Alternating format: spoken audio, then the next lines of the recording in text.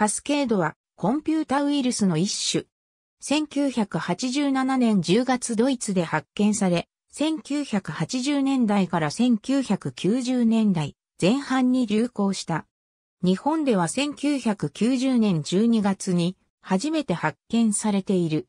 1992年7月には、アスキーの PC-9800 シリーズ用の市販ソフトウェア本 MS-DOS 簡単ツールのフロッピーディスクに収録されたボットキーコムから発見された暗号化された初のウイルスでもある。日本コンピュータクラブ連盟の命名による和名は自由が丘1号3号。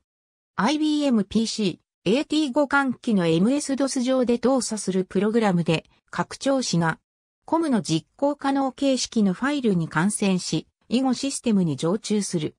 システムの日付が1988年10月から12月になると発表し、画面上の文字が滝のように崩れ落ち、画面テーブに積み重なる状態になる。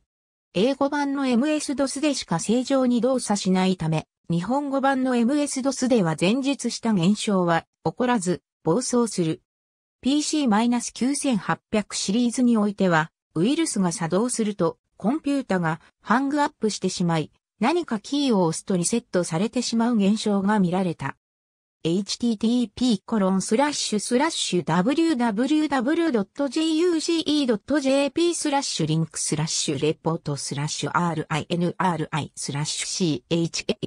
chap2.htm ウイルス大量感染パソコンの市販ソフトアスキー社回収へ朝日新聞1992年7月16日付東京長官1ページ。